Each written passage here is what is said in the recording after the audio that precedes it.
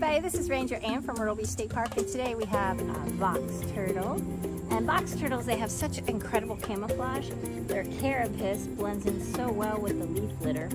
And you, we can look at the brightly colored eye and it may be hard to see, but it's, it's, it's tending towards red. And so this makes it a male box turtle.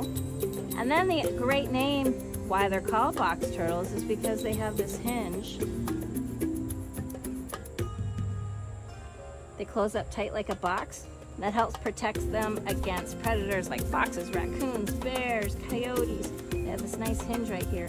Then the males have a slight concave right here and that'll help them to mate with the female. So a box turtle